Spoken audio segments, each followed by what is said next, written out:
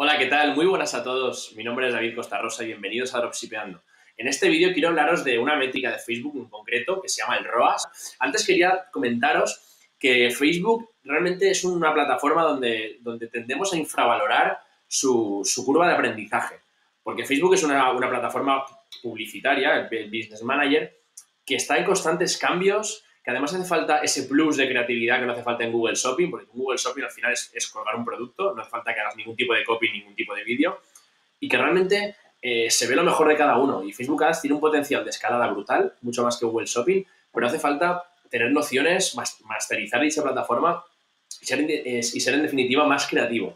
Para empezar a, masterizar dicha plataforma, para aprender a conocerla, evidentemente tendremos que aprender a conocer sus métricas. Yo vengo de letras, o sea que si yo he podido hacerlo, vosotros también lo podéis hacer de sobra.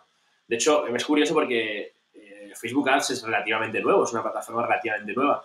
Y el, otro día estuve leyendo en, un artículo de marketing que había un montón de profesionales dentro de, Facebook Ads que venían de ciencias, que venían de, ser científicos, que venían de o bien de medicina o, o bien de alguna ingeniería. Pero realmente me hace mucha gracia porque es que tiene su complicación, ¿vale? No, no, es una plataforma sencilla ni mucho menos. Recomiendo, como siempre, suscribiros a mi canal si os gusta el vídeo, ver el vídeo entero porque es un vídeo cortito, pero al pie, que digo yo. Y nada, si os ha gustado este vídeo, me dais like.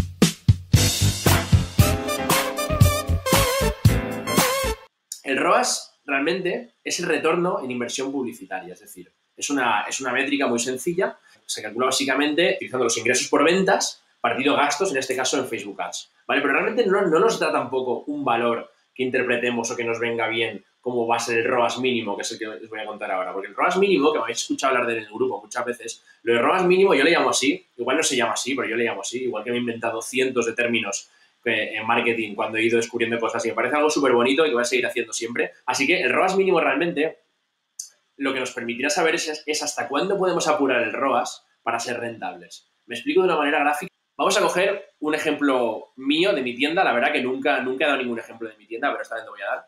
Pues os comento.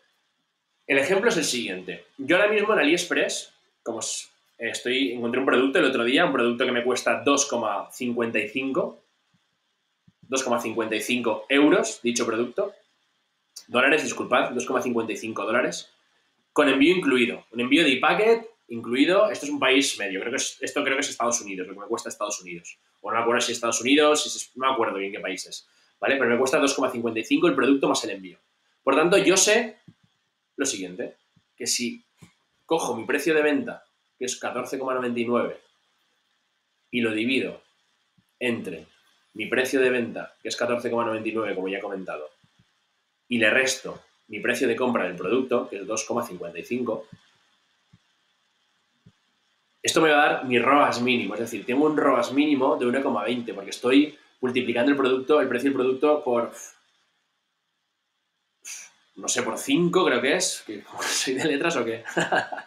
bueno, el caso, tengo un ROAS mínimo de 1,20 y esto me viene genial porque eh, siempre se dice que se desactiven los adsets cuando baja el ROAS de 2, pero yo no, lo hago así, yo lo aguanto hasta que, hasta que llega el ROAS mínimo y tengo ese margen para seguir aguantando los adsets porque en muchos casos hay veces que un producto se cocina a fuego lento y no nos damos cuenta que es ganador hasta, hasta que pase un poco de tiempo. Sí que es verdad que le exigimos que al principio funcione bien, porque el algoritmo de Facebook tiende a coger buenos bolsillos al principio de, empezar la campaña, pero vamos, que días malos, que vendemos menos que otros días y que si tuviésemos ROAS de dos iríamos caer agua al cuello, podemos pasarlos perfectamente. Como ya he dicho antes, voy a enseñaros un ejemplo gráfico, es la primera vez que enseño mi, mi Facebook Manager, pero lo voy a enseñar porque creo que vale la pena y así lo veréis muy sencillo todo.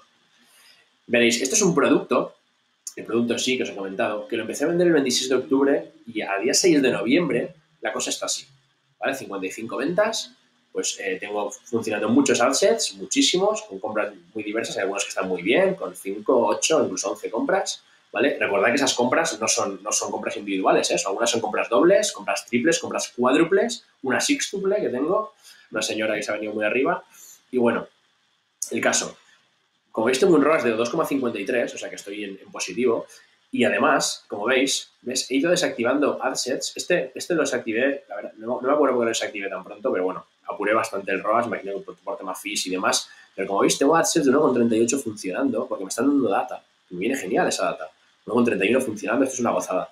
1,77 y luego tengo ya los, más potentes, ¿vale? Que están funcionando pues más, más fuertes, más, más sobrados, pero como veis 1,39 funcionando, en fin, me puedo permitir ese lujo porque realmente tengo un ROAS mínimo muy bajito. Entonces, esto me permite poder aguantar tiempo la campaña, me permite permitirme el lujo de escalarlo más lentamente.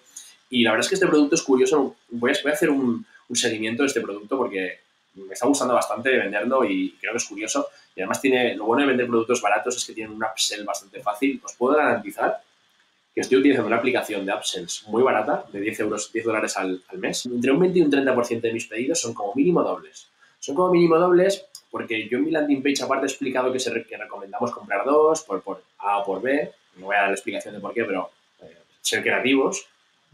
Además tengo un descuento por la segunda unidad, más descuento en la tercera, más descuento en la cuarta, etcétera, etcétera. Entonces al final esto me ha hecho que, que las ventas sean mayores muchas veces de, de 14,99. Aún así, evidentemente cada venta gano poco dinero, no tengo 20 euros de beneficio por cada venta, pero sí que es verdad que esto me permite jugar ¿no? con los ads de esta manera y bueno, quería comentároslo para que lo sepáis, para que nos, a veces vale, más la pena aguantar un producto un poquito más tiempo si tienes un buen ROAS mínimo.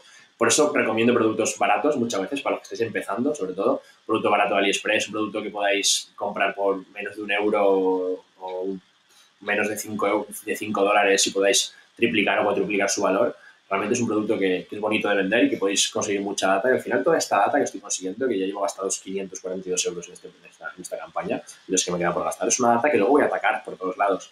Voy a atacar con Lookalikes, voy a atacar con retargeting. De hecho, ya tengo retargeting funcionando, evidentemente. Voy a atacar con productos similares. Voy a exprimirla utilizando las, audiencias de Insight de Facebook, el,